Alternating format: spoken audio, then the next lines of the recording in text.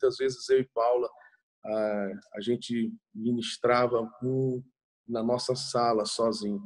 E diante disso tudo que vocês estão falando, meu coração arde, porque verdadeiramente, né, como pegar um gancho da palavra do Judson, dizer que a palavra de arrependimento é uma palavra de boa nova, boas novas. É uma palavra de salvação, é uma palavra que cura. E muitas vezes a palavra de arrependimento é tida como uma palavra de, de dureza ou de, de sabe, do, do, pastor ou do profeta ou do ministro é, está meio raivoso, mas não, ela é a, a palavra que nos leva a dizer: Eu preciso de ti. O arrependimento é o lugar que realmente nos leva a dizer: Eu quero estar com Deus, ficar com meu, com meu Abba Pai, com meu Papai. Né? Então, realmente, essa é uma palavra que muito tem faltado dos nossos cultos, das nossas canções.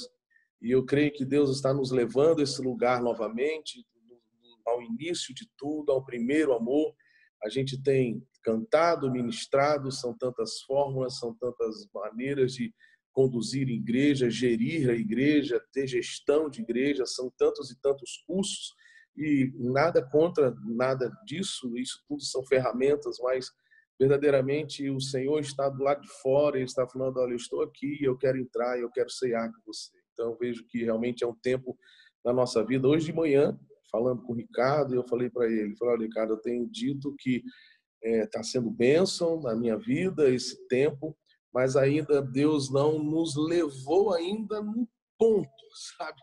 É, não é questão de falar que a gente tem que sofrer, nada disso, como Júlio falou, essa palavra ela é de salvação, é de boas novas. Então eu creio que ainda Deus ainda vai nos levar a esse ponto, esse lugar que é o chão, que é buscar o Senhor e que é realmente é, é, é, é, realmente voltar ao primeiro amor, à essência de tudo.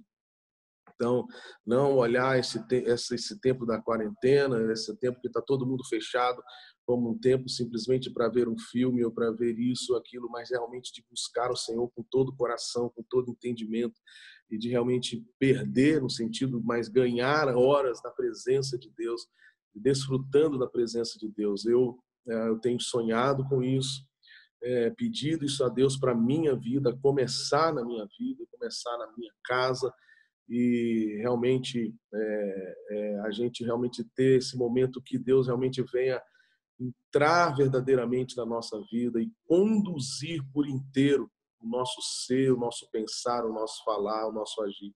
E o meu grande sonho, minha grande, meu grande desejo da minha vida é que realmente a igreja de Cristo possa viver um genuíno, algo genuíno, algo forte, a mensagem de Deus, realmente algo que nos leve, nos leve é, é, a uma mudança de vida.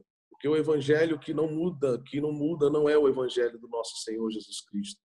Então, a minha, a minha oração é que nesse tempo a gente possa realmente ser provado, ser testado e ser cuidado, ser amado pelo Senhor, para que a gente realmente possa provar desse amor e transbordar desse amor. Né? A gente não está aqui para criticar ninguém, nem para levar, é, apontar os erros né, de nada, mas não tem como a igreja brasileira ir para lugar nenhum sem antes primeiro se arrepender. Não há lugar, não tem como a igreja ser enviada para lugar nenhum antes se ela, se ela não sabe o que, que ela é, o que, que ela, o que ela tem que fazer e se ela não realmente conhece Deus. Né? Nós não temos como hoje vivermos uma, uma era de, de, de Instagram, de YouTube, que você pega um violão e coloca na frente, você canta uma música legal e você entra dentro de um estilo e faz ali alguns acordes e amanhã você já está, sabe, levando multidões, ministrando pessoas, mas é um, é um nada para um lugar nenhum, você não sabe para onde você está levando as pessoas. Então, a minha oração é que realmente esse tempo as pessoas possam ter um encontro real com Deus, que elas possam realmente saber quem é Deus e a gente volte a. Eu, eu louvo a Deus pela palavra do, do Judson nesse ponto, que essa, esse ponto de arrependimento ele é, ele é graça, isso é favor de Deus, isso é maravilhoso é um choro que vai ser transformado em alegria e alegria plena e alegria para a vida eterna. E que a gente volte a pregar nos nossos cultos essa palavra de arrependimento, que realmente muda a vida das pessoas. A Bíblia diz: Conhecereis a verdade, e a verdade vos libertará. Nós não podemos ficar simplesmente cantando e cantarolando e falando e dando receitas de bolo para todo mundo. O Evangelho não é uma receita de bolo. Ah, faz isso, dê o primeiro passo, o segundo passo, o terceiro. Não, o Evangelho é vida, é essência, é Jesus Cristo. É uma pessoa que vive dentro de outra pessoa e governa outra pessoa. Então, é isso que a gente tem que realmente voltar essa essência, é, essa mensagem, esse, esse cerne dessa essa urgência dessa mensagem de arrependimento, de contrição verdadeiro na nossa vida. Então eu, eu, eu, eu peço muito a Deus que a começar em mim isso possa ser cada vez mais real e que isso possa cada vez mais ser real na vida de, da, da, da igreja. Eu, há nesses dias aqui, eu tive a oportunidade de ver algumas mensagens do Billy Graham. E creio que nesses, nesse último tempo não existiu uma pessoa tão evangelística, tão, com a mensagem tão evangelística quanto Billy Graham. E eu vi ali ele num lugar lotado. E ele começa a pregar e ele falando sobre a sedução das mulheres. Eu falei, meu Deus, que homem louco um estádio lotado, cheio de jovens, e ele ali falando: olha, o tipo de roupa que você usa, isso é uma afronta contra Deus, o tipo de joia que você usa, isso é uma afronta contra Deus, e falando literalmente a maneira que você dorme é, fora do seu casamento. Ele, eu falei: meu Deus, mas esse homem é evangelista, onde que ele vai parar? E no final ele começa a mostrar realmente, mas existe um caminho, um caminho de arrependimento que nos leva à graça do Senhor.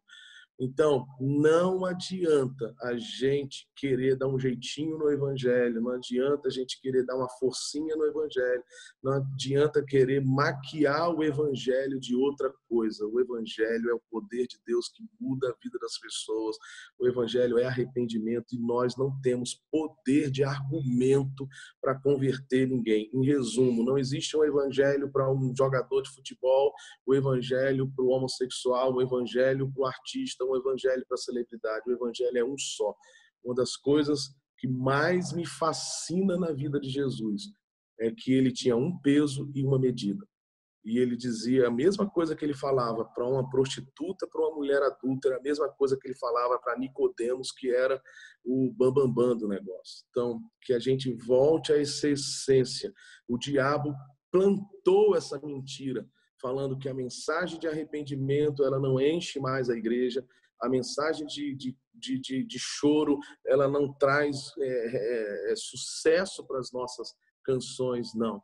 Essa é a mensagem da cruz, a vitória, a nossa vitória é a cruz de Cristo. É, como o Júdice falou, a palavra de João Batista foi sobre arrependimento. E Jesus, quando sai ali, ele diz: o versículo diz: Desde então começou Jesus a pregar e a dizer: Arrependei-vos.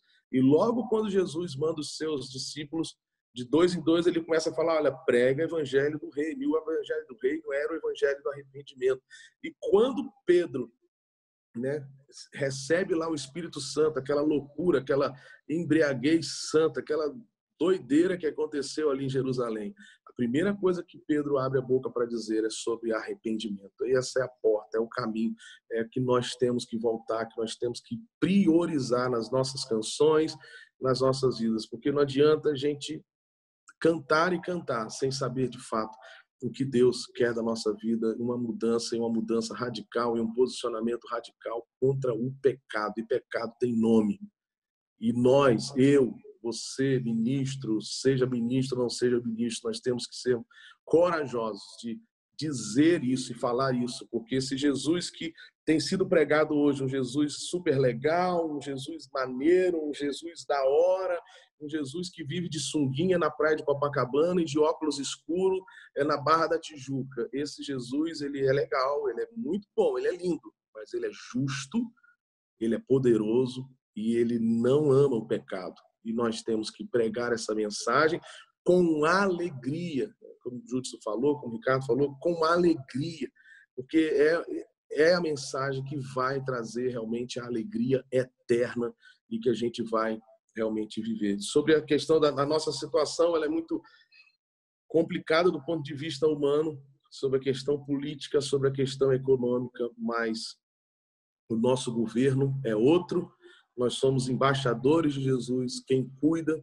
quem manda, quem dá semente para a gente semear é o Senhor e a gente tem que crer nisso. Então, estou é, muito feliz de estarmos juntos aqui e encerro a minha palavra aqui dizendo isso, que a gente volte a dizer: eu preciso do Senhor, não é do meu mecanismo, não é do meu marketing, não é disso daquilo outro, mas eu preciso do Senhor desesperadamente e que eu possa querer estar com o Pai. Obrigado, Fernandinho. Creio que Deus está nos conduzindo a esse lugar de arrependimento, esse momento onde eu e você, cada um de nós, entendemos que, como aquele jovem rico que chegou para Jesus dizendo assim, é, é, como vou herdar a vida eterna? Dá tudo para os pobres, Jesus disse, né? Dá tudo para os pobres. Não, é, aqui não. Aqui essa área você não toca. É como se a gente tivesse reservas de Deus. Eu creio que Deus está conduzindo a igreja a um lugar onde nós não temos reservas. A gente vai entregar tudo para Ele, tudo que Deus tem. Sabe, você pode ter um carro, você pode ter um ministério, mas o ministério não pode ter você. A gente pode ter várias situações onde nós não temos dono, sabe? O nosso dono é Jesus. Eu digo para você e para mim, a igreja ela acabou nesse exato momento. Eu não estou me tirando fora. Nós vamos chegar nesse ponto é, no final dessa quarta profética, que nós aqui estamos estamos nos colocando dentro, tá? Nós não estamos apontando o dedo.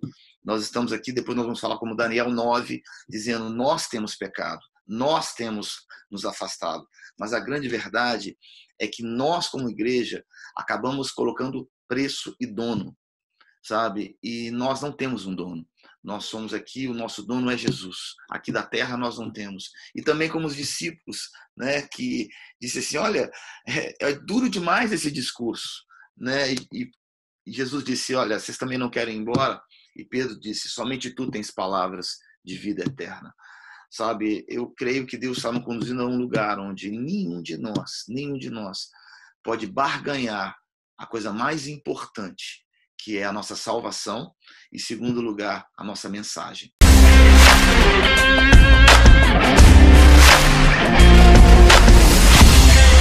Música